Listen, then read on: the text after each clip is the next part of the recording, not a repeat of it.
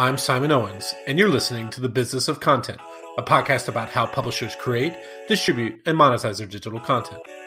In this week's episode, we're talking about how an investing newsletter called The Daily Upside got to 300,000 subscribers. When Patrick Trousdale launched his newsletter, The Daily Upside, in 2019, he didn't have much of a personal brand to build from. In fact, even today, his personal Twitter account has fewer than 300 followers. What he did have was several years of experience in finance and the willingness to grind out the newsletter each day, even when it didn't have much of a following. That kind of persistence netted him his first few hundred followers, and it also helped him get his foot in the door so he could pitch The Motley Fool, a popular finance website, on a content partnership. That partnership paid off in a big way, and the Daily Upside quickly grew by tens of thousands of signups. Today, the newsletter has over 300,000 subscribers and has sold out its ad inventory for months in advance. In our interview, Patrick walked me through his initial launch strategy, his business model, and how he convinced editors at The Motley Fool to take a chance on a partnership with an unknown entity. Before we jump into the interview, I want to talk about this week's sponsor. That sponsor is the CEX Creator Economy Expo it takes place from May 2nd to the 4th at the Arizona Grand Resort in Phoenix. It's an event dedicated to individual content creators and small media companies. Over 40 sessions will help you grow your audience, drive new revenue lines, sharpen up content operations, and teach you about Web3 business models. The event is limited to just 500 people and includes amazing speakers like the New York Times five times bestseller Dan Pink, TikTok Twitch star Leash Capiche, Ann Handley, Joe Pulizzi, Roberto Blake, and 30 other world class content slash media entrepreneurs. Plus, attendees get all the recordings as well. Sign up today and get your all access pass and $200 off the already low rate by going to cex.events and use coupon code SIMON. That's cex.events and coupon code S I M O N. And there's a pretty good chance that I'll actually be attending this event, so if you're going, definitely reach out so we can schedule coffee or drinks. Okay, on to my interview with Patrick.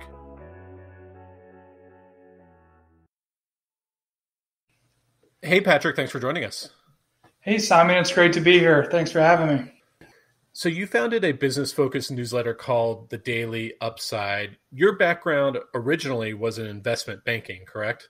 That's correct. I worked in investment banking uh, at one large bank, Bank of America, and then a, a boutique bank, Guggenheim Securities and I was working on media and technology deals while at Guggenheim. Um, and that was a large part of what inspired me to actually take the dive and, and start working on building a media company. So a company would come to you and say, "Hey, we're you know we've had several rounds of investment. We're, we think we're ready to either we, we don't want to IPO, but we think we're ready to sell to a larger company we want you to help like basically create some kind of presentation for us take us on as a client and put us in front of buyers and negotiate that and all that kind of stuff. Yeah that's pretty much right. I mean these relationships evolve over frankly years. It's not like you typically just get a call out of a blue uh, from someone from a stranger who wants to sell their business. Typically for call it the size of businesses that guggenheim would would interact with the relationships do develop over time and were you happy in investment banking? Was this something you wanted to get out of? I I liked a lot uh, about the work in investment banking, the analytical work, dissecting businesses was a big part of the role, trying to figure out what makes them profitable, what makes them able to to grow, how is it differentiated in the marketplace. So I, I liked all of that, but at the end of the day, I did want to focus more on being on the other side of the table, working on actually growing a business from the ground up was something that pretty much for the entire duration of my career in investment banking that I wanted to to do. So it took about a, a decade to build up the courage, but finally got there. And when did you start thinking about launching a newsletter and why a newsletter? Yeah, so uh, when I was covering the, the media and technology space, I'd seen newsletters emerge as a, a pretty attractive model for, for launching a media business, right? Not a lot of capex out of the gate. Um, you know, pr- pretty tried and true distribution channels to to acquire readers, and frankly, just easier than trying to build up domain authority over the course of many years to to build an audience. So I, I looked at newsletters as um, you know a good model within media, and once I decided on that, I, I left Guggenheim um, and and pretty much started working on it right away. And you were looking at, and I have a lot of people on like this on the podcast you were looking at newsletters like Morning Brew, The Hustle, The Skimm, right? These kinds of uh, kind of breezy, conversational, business focused uh, newsletters, right? Those are all amazing companies that in their early days, early years, made a, a amazing amount of progress and got an amazing amount of traction without a ton of capital. So absolutely was inspired by those companies. I uh-huh. personally wanted to build a product for investors specifically.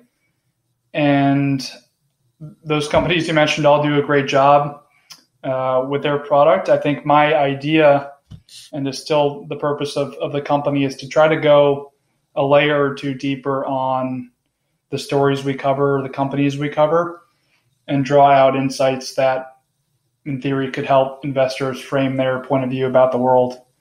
So that's that's our angle. And did you quit your job before launching the Daily Upside? I did. And looking back, that was probably the, the biggest mistake because, as you know, I'm sure it, it, uh, it does take quite a while to get the ball rolling and, and to build traction. Newsletters are great, but it is a high friction product. It does not ignite overnight. I didn't start the Daily Upside with, you know, 100,000 Twitter followers, for instance, that I could just convert um, into readers so it was slow going for six nine months where relative to what i was doing before it was you know uh, a little bit of a come down yeah i don't know but i've written about this in my own newsletter though is you kind of have to go all in like you can't run something as a side hustle even if you're not making enough money to, to replace your salary and I don't know. It seems like you, and we'll get into this, but it seems like you're successful now. Like, don't you think you needed those like six to twelve months of just grinding it out? You know, thinking about it on a full time basis. Oh, I, absolutely. You're, you're absolutely right. There, there would have been no way, especially with the daily product, to be you know working a full time job, but also producing content that was worth reading for for subscribers. And I think a big part of any newsletter journey is figuring out how exactly you're, you're going to be different than the other newsletters that exist. How does the product work? How does the editorial process work in terms of story selection? Um, and you don't, you can think about it all you want going in, but the only real way to do it is to just strap in and get going. And so you ended up launching the newsletter in 2019, like around what month? The end of September of 2019, we launched the first newsletter to so you just passed a two-year anniversary for it. So what did the format of the newsletter look like in the early days? I'd say the early days were slightly different. We were slightly less news and events focused than we are now. In the early days, I was picking an individual company that I had either covered in my investment banking days or uh, had had known about, and would kind of go through all the issues of, of that company and do, frankly, even slightly more of a deep dive than we're doing now. But it was less less news focused. I quickly I call it two or. You were like a stock analyst. It was more like stock analysis in, in the first two months, yeah. and I quickly realized while I enjoy doing this, if someone's going to open up this newsletter every day, there has to be some connection to current events, or it's there's going to be some level of fatigue. Uh-huh. And so, two months in, it how did it transform? two months in, I I started looking at the various models out there, the, how the other newsletters were covering business news, and I basically wanted to morph what I was doing, which is more stock analysis um, and company focused news, and marry it with the news. And that's really the product that still exists today, which is we're covering stories that you, you might read about in the journal, um, but go again a level or two deeper and frame it in a perspective for investors. But I think what, what also sets us apart from some other newsletters is we'll surface stories that you're likely not going to find unless you are reading the Financial Times cover to cover every single day. And we'll sur- surface those stories and figure out how we can add value, combine it, combine it with other trends that we know are happening in the market, and provide value that way to readers. Yeah, so I was looking at the newsletter before we got on today. Looks like you have like a, like a handful, three to four stories. You're devoting a couple hundred words to each story, giving some some analysis, some context, stuff like that, right? Yep, we've got three main stories in our in our weekday newsletter. Last month we launched a weekend newsletter, which is essentially a deeper dive into a theme that would be important to someone who follows business and markets we covered last weekend. We covered trends shaping the home improvement industry. So obviously, folks kind of know what happened during the pandemic, but what is likely going to happen next, um, and what does that mean for folks like Home Depot, Lowe's, and who's possession who's positioned best to kind of thrive in, in the next next era here. So you, you know, early on in your days, you eventually formed a partnership with the Motley Fool, which was kind of like a game changer for you. But before that, what was your? How were you finding an audience, or were you not finding an audience? Like, were you just struggling to, you know, figure out how to grow the newsletter? Yeah, I mean, there was in the early days when I first set out some level of just organic growth based on who was reading it, um, I'd say, you know, we started in the first newsletter went out to probably 200, 200 folks. I'd say through January, February of 2021, we were probably up to around two or 3,000 readers. But I was devoting so much of my time to just producing content to satisfy the existing readers that I did quickly start uh, changing my frame of reference to figure out how to kind of in a in a meaningful way sc- scale the operation, um, and that did lead, yeah. lead to the partnership. So you went over a whole like over a whole year of writing the newsletter before that partnership. I did, but um, I did call it start having conversations in January or February of 2021. Uh-huh. I talked to three or four major media companies, and you know had interest. I call it in varying degrees. Some liked the product and wanted to kind of in-house the daily upside and have me to basically become a writer full time at you know an, an, established publication. I did contemplate raising raising capital. I had a couple conversations around that, but ultimately I was connected with the right person at the Motley Fool well, let's let's not get into. Let's wait just to get into that. I just wanted to explore a few other things. Is like so, like you you said you had two to three thousand subscribers before you formed that partnership, and most a lot of newsletter writers who are listening to this would say, you know, two thousand to three thousand uh, readers for a newsletter that you started from scratch. You had no pre-existing brand before then. Like that's actually like not that easy to do um, you know, I, I, I know the landscape. Like, obviously, if you're starting with hundred thousand Twitter followers and a big following in media, like you can get that very easy. But starting from scratch, that's definitely difficult. Were people like forwarding the newsletter? How were they? How were they coming across it?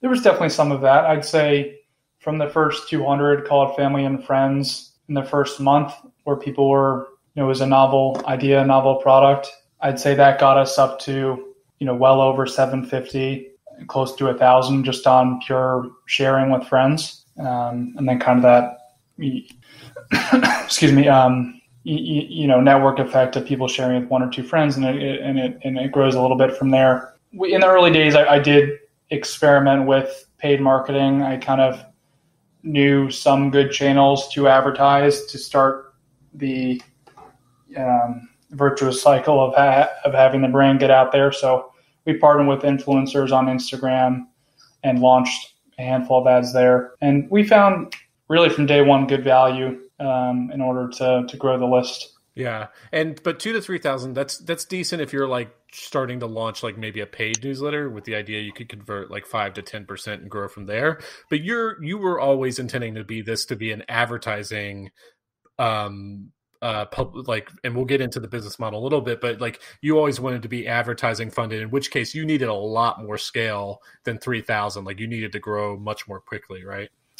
I always intended this to be excuse me an advertising model. So yeah from the early days i knew the basic math of of what cpms were available and called the finance and business market what that meant from a how large does the audience need to get in order to sustain a business. So from the very very early days, I was focused on how the audience could get you know north of 50, 100, 200,000 readers. Yeah. So in, January, February, you said you started like talking to different media companies. A lot of them you talked to were probably probably from based on what you're saying is like they were like, oh, this is kind of cool. You're a good writer. How about you come write a newsletter or write for us or something like that? But you wanted to somehow stay independent. And so most of these deals didn't work, but you eventually started talking to someone at the Motley Fool.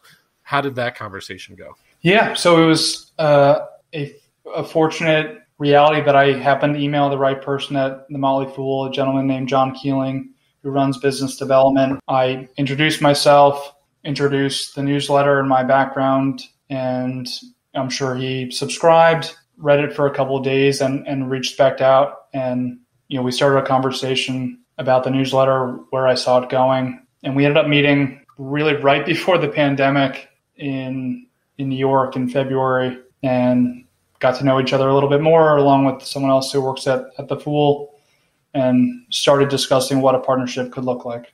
Yeah, I'm wondering, like, you know, from his point of view, he had just seen the success. This is, you know, beginning of 2021. He had succeed. He had seen the success of sites like the the Skimm or uh, the Hustle, um, Morning Brew, and maybe he was looking at this and saying, "This is my chance to get in on to get in early on one of these companies uh, that are one of these newsletters that are that have a lot of potential to grow very quickly." So, talk to me about the arrangement you came to eventually. Yep. So the first thing we did was, while they could read the product, they did need to did want to evaluate whether or not their audience would engage with it. Was it would the content resonate? So the first thing we did was a trial that lasted five or six months that basically involved the Motley Fool opting in a certain number of readers through advertising on on their you know uh, their funnels and subscribing to the Daily Upside. And then from there, we evaluated open rates, click through rates,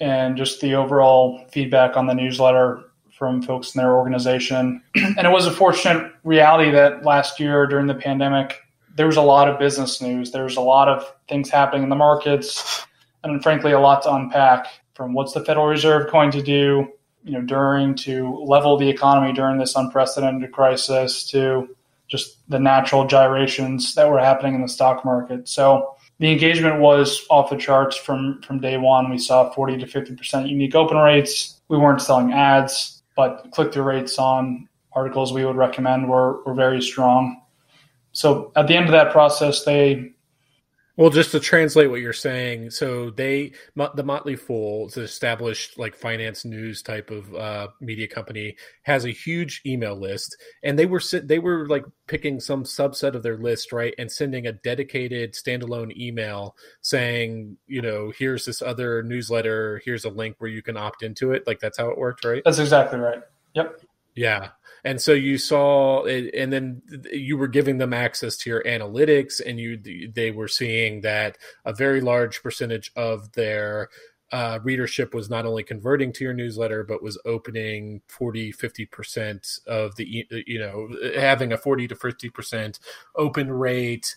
And uh, what did the motley fool get out of this arrangement? I think as you alluded to before they saw the potential of of what this could become they work with a lot of newsletters as part of their regular marketing marketing activities. So they were definitely aware of how large newsletters could get as a channel, and ultimately they they're very smart marketers, and they uh, knew that this ultimately could be in time a good funnel for their for their products as well. So for them, it was as much of an experiment as it as it still was for me. Um, and and but a, but a business arrangement came out of it. Like they're selling advertising on your newsletters and getting a cut.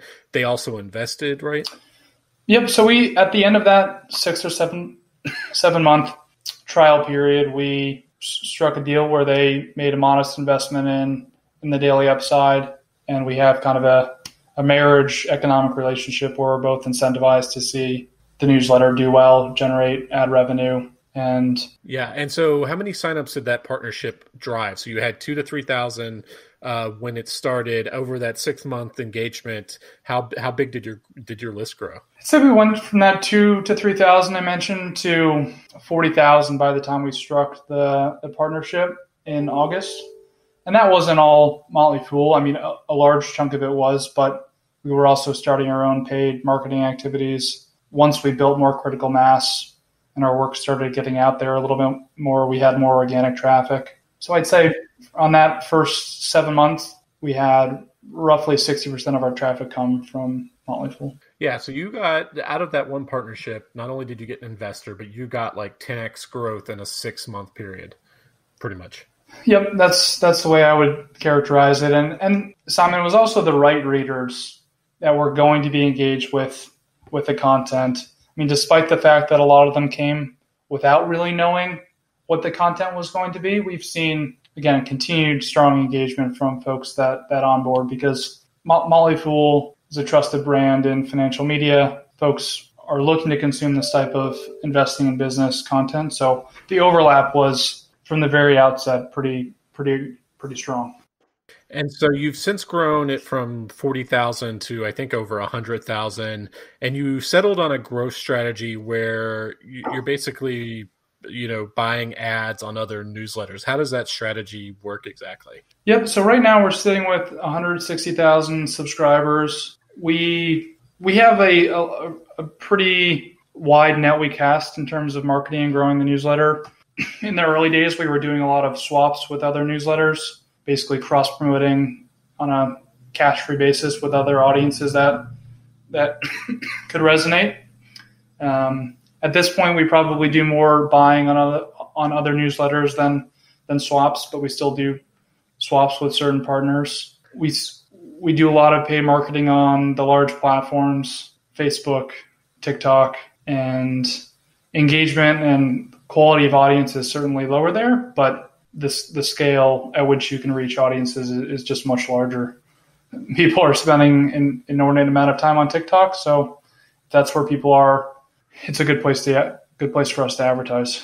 And like TikTok, obviously, finance TikTok is big. Are you getting like influencers to recommend to create like like videos, branded videos where they recommend your newsletter, or is it mainly just using like TikTok's ad system? It's it's definitely been both.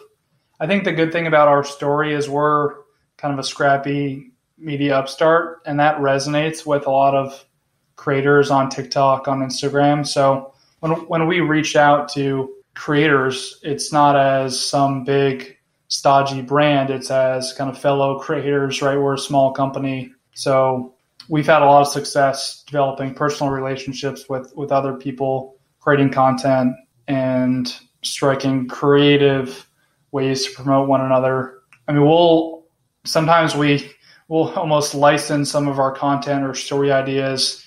A TikTok creator will make a video about it as if they came up with the story or the content, but then give us kind of a shout out at the end of the video because it is was our kind of uh, legwork that that made the script, and that's that's been a great growth strategy for us. And for the newsletters that you buy ads in, is it just a call to action, just describing the value proposition of the daily upside and saying go sign up here? Or you, I, I know, I know that some newsletter when they say that uh, newsletters who advertise in other newsletters like they say the winning strategy is actually to send them directly to a piece of content and get them hooked that way versus a more generic call to action what have you settled on as the most effective uh, conversion method we've settled on sending people excuse me straight to our our landing page i mean we do give a lot of information in the copy about who our readers are what kind of information are we providing so the folks that's that end up on the landing page are pretty qualified.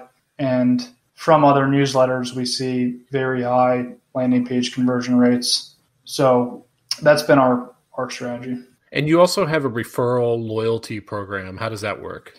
We do. We we basically incentivize people just share the newsletter. The first rung on the tier is getting access to our Sunday newsletter, uh, and then we also incentivize people with with um, things like mugs and T-shirts. I, I think we can do generally a, a, much better job with with that than we have done. To be honest, it hasn't represented a massive portion of our growth. I'd say on balance, our readers are slightly older than some of the other newsletters you mentioned. So I don't think there's that same inherent level of oh, I'm going to get very excited to share this newsletter to get a T-shirt, for instance. Um, as maybe someone right, you know, in college or out of college. So I think we're, we're yeah. still tweaking and, and kind of fine tuning our referral program. And I'm sure most of my listeners know this, but how these work is they can generate a personalized URL that allows you to so when they share that url and people sign up for the newsletter it tracks back to them it gives them points and then they can exchange those points for different rewards. Sometimes there's something virtual like access to a facebook group or like you said access to a special sunday newsletter or it's physical like you know receiving mugs and and uh, and t-shirts and stuff in the mail uh, so one of the rewards the basic rewards is you get access to the sunday deep dive newsletter you produce that's the only way to get access to that newsletter, right? So, Simon, we did actually just pivot to launching the Sunday newsletter to, to all readers because it is, frankly, now probably our highest value to our readers. Um, so we are kind of in the midst of restructuring our our referral program around that tier. I should be clear on that. Oh, so you're sending the Sunday deep dive to all 160,000 signups? We are. Uh-huh. Oh, okay. That's interesting because I did have some questions about, you know, obviously when you were doing it as a referral program, um, it's it's a much smaller base because it's people who have you know gotten at least three people to sign up for the newsletter. But it seems like those would be your super fans. They would have a super high engagement rate and you could maybe even sell advertising at like higher cpms or something. But it sounds like you just weren't seeing enough roi and it wasn't worth it to do it that way. Yeah i mean ultimately we were producing kind of 2000 excuse me 2000 3000 word articles and deep dives that gave a lot of value to the audience. And we you know while we we could send that to a smaller subset, you know, the three, 400 that have referred at least three people. Ultimately, we, we want to give as much value as we can to all of our, our all of our readers. So we did change that strategy. I noticed that so like we said that you have you'll have like three individual stories within the daily newsletter. I've noticed that all the individual segments, the individual stories within the newsletter are now published as articles on the website as well. Is that so you can capitalize on things like SEO and social sharing? It is. That that was the original intent was the social sharing component. So on our newsletter we have social sharing icons and we do see people engage with those. They'll, they'll read a story, decide they want to share it on Facebook or Twitter. And that was the reason we created the individual stories. It does add a significant amount of work for a small team to, to you know, port the content over to WordPress. But it is for us worth it to build the SEO credibility over time, build the domain authority, and ultimately build more organic traffic is the, the where we're looking to go. And when did you start to create like when did you start creating web article versions of the newsletter? Around four four months ago, we made the transition uh-huh. to to start to do that. And honestly, it's going to be a very large initiative for us in the coming months. Is how can we optimize to make sure we're getting the most value out of our three to four hundred word articles. Um, so that's going to be a big focal point. Do you have any ambitions to get into any kind of original reporting or breaking news or anything like that? I think our differentiation will likely not be breaking news. I think where we'll, we will thrive is providing the insights and color and analysis on breaking on the breaking news stories that that matter. Um, so I, I, don't think we're ever just based on how our newsroom is set up. We're ever going to be first to be able to get a story out. We're never, never going to be first to be able to show up number one on Google News. But I think we're looking to build a brand that people can trust where after the dust is settled, if you want the a thorough, comprehensive analysis of what has happened, a trusted brand to do that for financial news. Do you see yourself ever getting into like competition for hiring with like the Bloombergs, the Wall Street Journals, the Business Insiders, like bringing on actual writer brands, or do you want it to stay centered on the Daily Upside brand? I think ultimately it will be important for our writers to have personalities and that are very public, and frankly, our writers do um, have personalities that are that are public, who, who have large Twitter followings, and are, are kind of entities in the journalism world. I don't think we've leaned into that as a brand as hard as we should have, but that just comes with being a small company and being focused on you know a limited number of things as, as small companies are. How have you gone about hiring? Like, how's how is the Daily Upside now staffed? So we have a, a full time writer named Sean Sean Craig. He's based in Berlin, and we started working together. He was a contributing writer for three or four months, and ultimately he joined full time earlier this year when we kind of were fully on the same page in terms of content, vision for the business, and we both bought into that. Um, we have a number of other contributing writers, and editor. we have a, a growth marketing uh, manager and an ad operations specialist who helps coordinate relationships with our sponsors. So let's talk about those sponsors. When did you first start selling advertising for the newsletter? So we didn't, excuse me, Simon, we didn't sell advertising until early 2021. So January or February of 2021 was the first time we sold an ad. And as we were talking about before, we, we did have a pretty sizable audience, you know, at the end of 2020 where we could have sponsors in the newsletter. We made a conscious effort to just focus solely on content, uh, really just as a virtue of, of headcount until we got to a certain critical mass.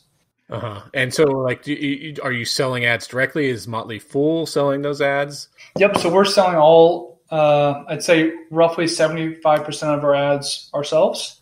And we work with a number of agencies um, and talented professionals throughout the space who have spooled up their own operations to sell the other chunk of ads. And are you writing the copy in house? We are. Yep. Our ad operations uh, employee helps helps write copy, and I'm also heavily involved with copy as well. And what kind of like in terms of you had a pie chart of the different kinds of advertisers, how much are like consumer versus B2B versus investing, different things like that, kind of brands? Investing and finance has been our definitely our most successful um, sponsor cohort. I'd say they represent around 60% of our sponsorships and we do around 20% of consumer goods and 20% B2B. And you've you've uh, sold out your inventory for what the rest of the year? we are sold out for the rest of 2021. We did recently launch a secondary ad slot in the newsletter, and we are kind of selling that sparingly throughout the rest of the year.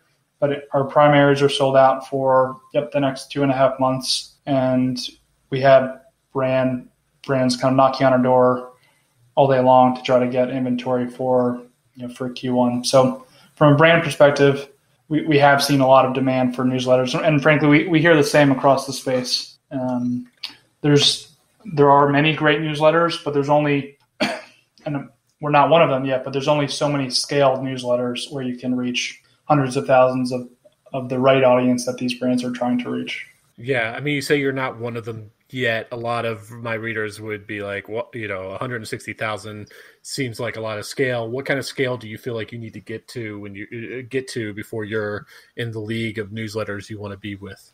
I'm certainly not trying to diminish ourselves or or anyone with any audience size. Um, I merely mean it's it's a lot of the brands we work with frankly will not will have difficulty working with us at our size because they're accustomed to spending a million dollars a month on YouTube, where working with an audience our size is great and we can drive leads, but it, it does take a lot of manpower to to manage these one-off relationships. So I think you know once you get into the call it north of 500,000, I think you can you can work with different types of sponsors.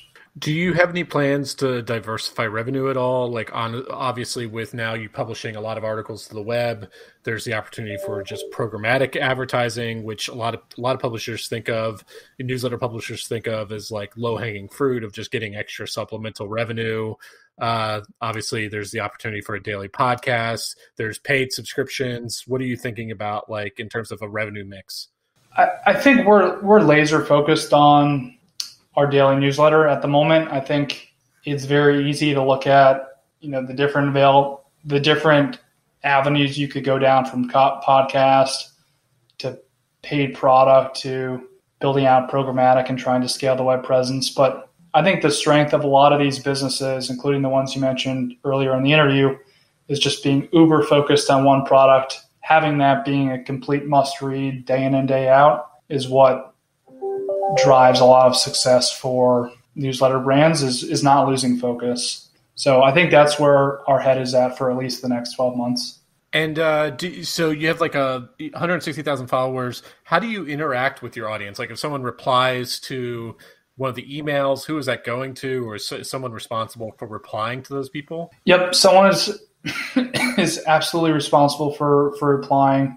I'd say pretty quickly we're going to need to have that be a formal role. Um, depending on what what we write, if we write something controversial, we write something about tax, as we did today, we'll get 30, 40 replies on the email, and I'm replying to a lot of those today. And I, you know, we have a lot of the same people emailing day in and day out and feeling like they have a relationship with the newsletter, which is great, which is what we want. But it is it is becoming a workflow. Okay, Patrick. Well, those are all the questions I have for you. Where can people find you online? So check out the Daily Upside. Where if you Google us, we'll be right there at the top. But we're at www.thedailyupside.com. Awesome. Well, it's a lot of fun. Thanks for joining me. Thank you, Simon. Okay, thanks for joining us. I'm actually on the lookout for new guests for this podcast. So if you do interesting stuff in digital content, whether you're a full time YouTuber, a media executive, or run a cool niche newsletter, definitely reach out. My email address is simonowens at gmail.com. Okay, see you next week.